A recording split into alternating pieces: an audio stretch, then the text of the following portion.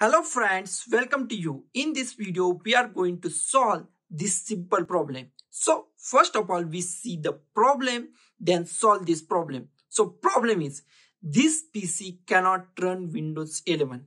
This PC doesn't meet the minimum system requirement to install the this version of Windows. For more information, visit at and the website name. So my system is the latest system. So it's fulfill all requirements of the Windows 11 and this messages appear on my system. Solution is the just go to the BIOS and enable TPM in your BIOS. It is the simple way. So we are going to solve this by simple way. So just cancel it and go to the your BIOS. If your system is another or your hardware is different then your BIOS key is different. In this key, case, I press the delete key or F2. And just go to back.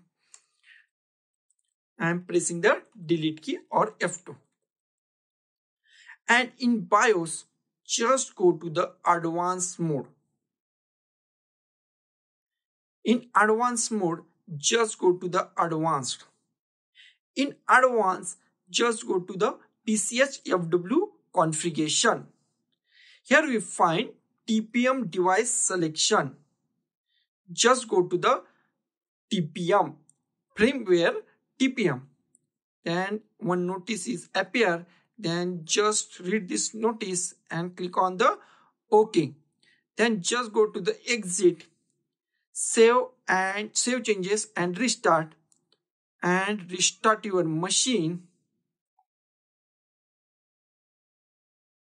Now we just go to the Windows 11 again. Just click on install. Just I don't have product key and just click on Windows 11 Professional. Always use Pro version. Next.